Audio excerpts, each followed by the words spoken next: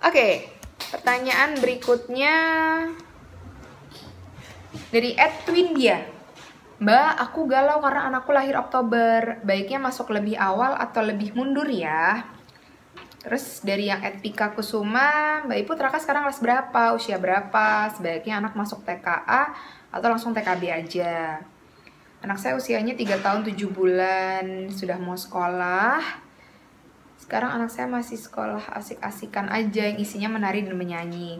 Dan usia yang pas untuk masuk SD itu usia 6 atau 7 tahun sama kriteria pemilihan sekolah. Nah, Raka itu juga sama, dia kelahiran September. Jadi kemarin memang masuk sekolahnya agak kecepetan dan agak repot untuk ngepasin waktunya. Saya juga kelahiran November, jadi waktu pas saya kecil juga saya TKA-nya ngulang dua kali gitu karena masalah umur nggak cukup juga. Jadi kalau memang mau uh, serba pas usianya dan aman, memang sebaiknya dimundurin aja. Dan toh tidak ada salahnya uh, untuk mundurin sebentar beberapa bulan uh, sambil menunggu anaknya lebih matang dan lebih siap lagi secara emosi. Terus Raka sekarang itu TKB, ya dia TKB yang kedua kalinya. Karena tadi juga udah beberapa kali disebutkan ya saya ayahnya dan juga sudah ngomong sama Raka juga kita semuanya sudah sepakat kepengen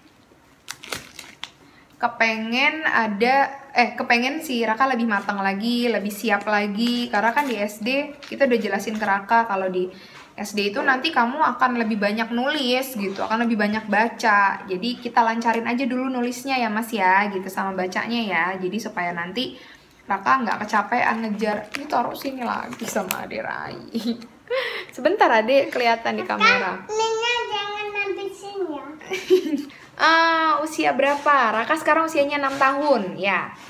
Mbak sebaiknya anak masuk TKA atau langsung TKB aja. Itu lagi-lagi balik ke keputusan dan kesepakatan orang tuanya dan kebutuhan anaknya juga tentunya. Kemudian kesiapan uh, secara ekonomi juga kan ya kita nggak tahu siapa tahu ada orang tua yang kepengen nunda karena biar bisa nabungnya lebih banyak dan lebih lama dulu.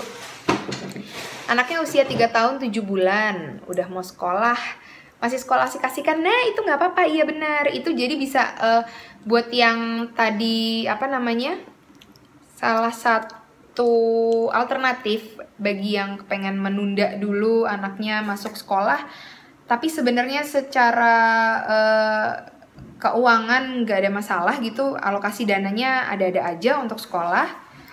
Bisa diikutin yang les-les dulu kayak les futsal les apa namanya nari les nyanyi. Sekarang kan lagi booming juga les musik gitu. Les drum. Les drum raka. Terus ada Rai apa deh ngaji ya ada ikut TPA kan ya sama Mas Raka ya? Iya. tiap sore gitu. Jadi bisa bisa kayak gitu sih untuk jadi alternatif. Nggak masalah. Toh di sekolah itu juga anak tersim yang distimulasi juga banyak. Dia juga ketemu sama teman-teman sosial emosinya juga terasah. Kemudian secara uh, intelijen apa sorry intelektual kemampuan dia untuk menangkap informasi juga terstimulasi kan pasti yang namanya di setiap sekolah atau les itu kan anak juga distimulasi untuk menangkap instruksi, menangkap informasi, ya kan? Kemudian apalagi motorik halus, motorik kasar, ya kan? Ketika dia menari, gitu, gerakan-gerakan fisik. Ketika dia misalnya berolah, berolahraga, entah itu ikut atletik atau futsal, ya Allah benjolmu mas. Ketika dia ikut uh, futsal, ikut nari, loh mukanya ibu hilang. Itu kan juga motoriknya dia juga terstimulasi Kemudian, ya jadi nggak ada masalah dengan sekolah yang asik-asik aja itu gitu alias sekolah non formal itu juga bisa jadi alternatif. Kemudian usia yang pas masuk SD, kalau saya sih prefer 7 tahun ya supaya lebih matang. Tapi setiap anak lagi-lagi beda tingkat uh, apa namanya perkembangan dan kematangannya. Jadi kalau memang mau memastikan banget itu bisa hmm, ke psikolog. Nanti akan dikasih tes untuk melihat bagaimana kematangannya si anak. Apakah dia udah siap atau belum. Kemudian kriteria pemilihan sekolah. Di video yang sebelumnya itu yang hari yang judulnya hari pertama sekolah itu juga udah ada sekilas ibu kalau milih sekolah itu yang seperti apa pertama tentu pertimbangan jarak. Kemudian eh iya pertimbangan jarak supaya anak bangunnya juga nggak terlalu pagi jadi dia nggak cranky-cranky banget. Kemudian eh, review tentang sekolah akreditasi tentunya. Mas jangan gitu. Nanti yang nonton salah fokus lihat gigi kamu. Main dulu sana sama adek main. Aduh main atau baca buku? Ya makasih ya. Jadi em, tadi masalah jarak kemudian review tentang sekolahnya sekolahnya terakreditasi atau enggak.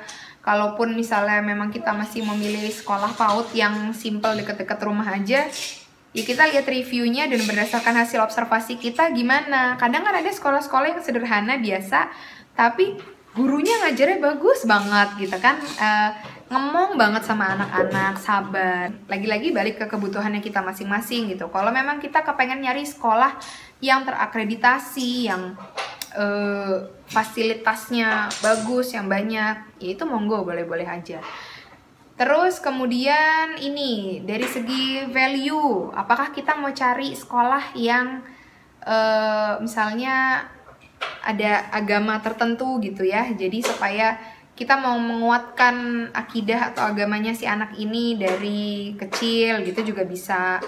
Atau kita memang kepengen mengajarkan keberagaman kepada si anak dari kecil supaya dia mengenal kalau di negara kita ini ada banyak sekali agama, banyak ras, banyak suku, banyak bahasa gitu. Nah, kita juga bisa milih sekolah yang negeri, yang umum gitu kan. Dan di situ kan juga dia juga bisa melihat yang strata sosialnya juga berbeda, misalnya seperti itu. Balik lagi ke eh, apa namanya? nilai-nilai keluarga ya.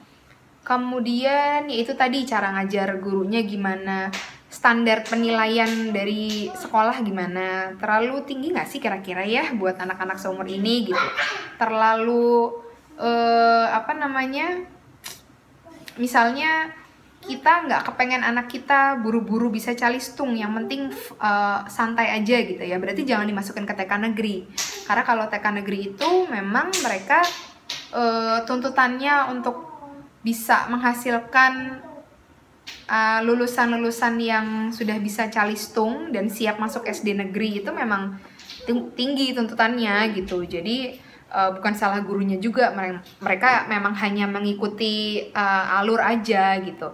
Tapi kalau memang kita kepengen anak kita bisa uh, calistung, ya udah nggak apa-apa juga. Balik lagi ke orang tuanya. Uh, apalagi ya? Sepertinya itu ya, biaya sekolah sih yang jelas. Kira-kira dengan fasilitas yang seperti itu, dengan biaya yang seperti itu, masuk di akal dan cocok di kantong atau enggak? Lalu dari Ed Brianggita, saya gabungin aja sama Ed Bunda Prazada dan Ed Nurkania, karena ketiganya temanya sama tentang kesiapan anak sekolah. Nah, untuk kesiapan anak sekolah ini, saya lupa nanya balik sih, yang lagi ditanyakan ini oleh ibu-ibu ada apakah kesiapan masuk PG, TK atau masuk SD. Kalau masuk PG, TK lagi-lagi karena tuntutan belajarnya eh, masih sederhana ya, hanya sekedar untuk stimulasi dan pengembangan diri si anak.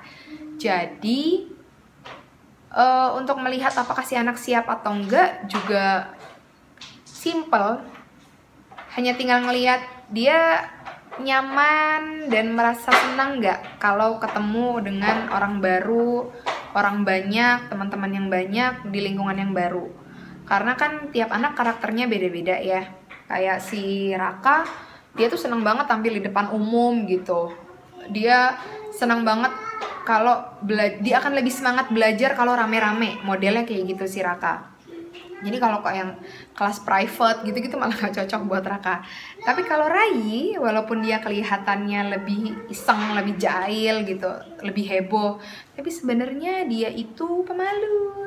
Dia nggak terlalu suka uh, untuk dihadapkan langsung sama beberapa orang atau beberapa anak gitu. Apa nggak nggak merasa terlalu nyaman gitu loh kayaknya anaknya. Jadi dia malah lebih cocok untuk eh, model-model belajar yang kelas kecil nggak langsung banyakan nah itu nanti juga bisa jadi pertimbangan kalau memang mau disekolahkan ya kita jangan lupa tanya satu sekolah tuh eh satu kelas isinya berapa anak dengan berapa guru gitu. Yang ideal itu satu banding 8 lah ya itu satu banding 7 satu banding 8 lah itu yang ideal gitu. Jadi kalau mau lebih dari itu sebaiknya dua guru ada di kelas atau satu banding 10 gitu. Jadi kalau satu kelas 20 anak ya dua guru gitu. Uh, kalau lihat ada yang lewat depan rumah pakai seragam selalu bilang pengen sekolah, belum tentu ya. Lagi-lagi dilihat lagi dulu. Mungkin kita bisa coba trial dulu. Kita lihat pas trial itu kan kita bisa observasi kira-kira anaknya gimana, udah siap atau belum, anaknya suka atau enggak. Kita bisa sekalian observasi gurunya gimana sih penanganan si guru ini kalau sama anak yang uh, misalnya nangis atau sama anak yang takut, pendekatannya si guru ini ke anak gimana gitu. Hmm, sudah, sudah, sudah selesai, sudah terjawab semuanya insya Allah ya. Dan semoga uh, jawaban-jawaban dari beberapa pertanyaan tadi juga bisa sekaligus menjawab kegalauan ibu-ibu lain di luar sana yang belum sempat menuliskan uh, atau mengajukan pertanyaan. Semoga bermanfaat videonya, semoga bisa diambil yang baik-baiknya aja. Maaf jika ada kekurangan. Maaf jika ada keributan dari kedua anak ini. Sampai ketemu lagi di video YouTube Ibu Raka Rayi berikutnya. Wassalamualaikum warahmatullahi wabarakatuh.